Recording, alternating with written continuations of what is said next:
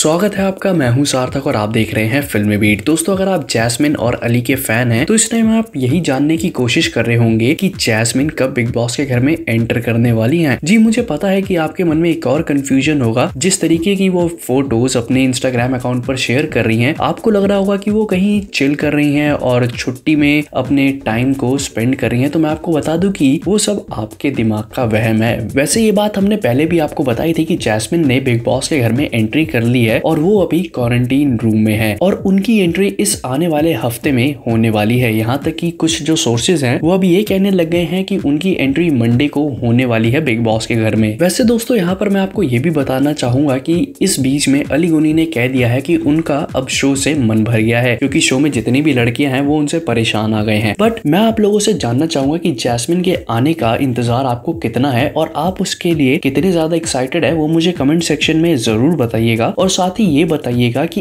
इस हफ्ते आप किसको घर से बाहर जाते हुए देखना चाहते हैं फिलहाल दोस्तों इस वीडियो में इतना ही अगर आपको वीडियो पसंद आई तो इसे लाइक और शेयर करें और साथ ही हमारे चैनल को सब्सक्राइब करते हुए जाएं